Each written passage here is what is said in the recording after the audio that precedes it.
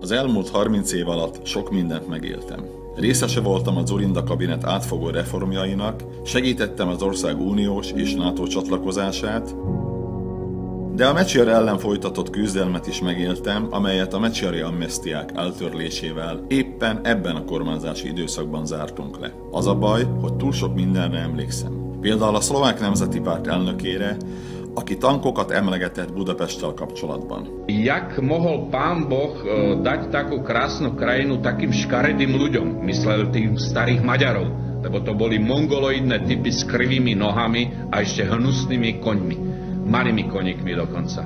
Emlékszem arra is, amikor Sólyom László Komáromnál nem léphette át a határt. Tulajdonképpen egész pályafutásom alatt tanulja voltam a politikusok által gerjesztett szlovák-magyar konfliktusnak.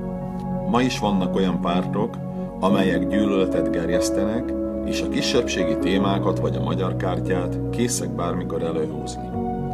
Sőt, az emberek egy részéből sem tűnt el a gyűlölet.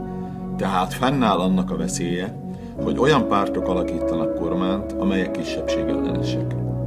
És mi lesz akkor, ha ezek a politikusok ismét ellentétet szítanak, és újraélesztik a más nemzetiségek elleni gyűlöletet? Az, hogy ma feszültségmentes időszakot élünk, ajándék. De hogy mi lesz holnap, nem tudom.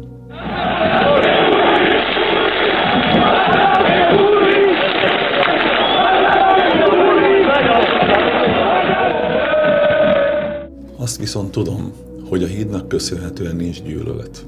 Nincs magyar kártya. Aki más állít, nem ismeri a múltat. Én ismerem, mert megéltem. Ezért tudom, hogy a jövőben is szükségünk van egy olyan pártra, amely nem engedi, hogy megismétlődjenek a 90-es évek. Egy olyan pártra, amely mindent megtesz azért, hogy egyenrangú polgárként tekintsenek ránk, hogy továbbra is itthon érezhessük magunkat. Itt, ahol születtünk. Tudom, hogy a feszültségmentes jövőhöz szükségünk van a hídra.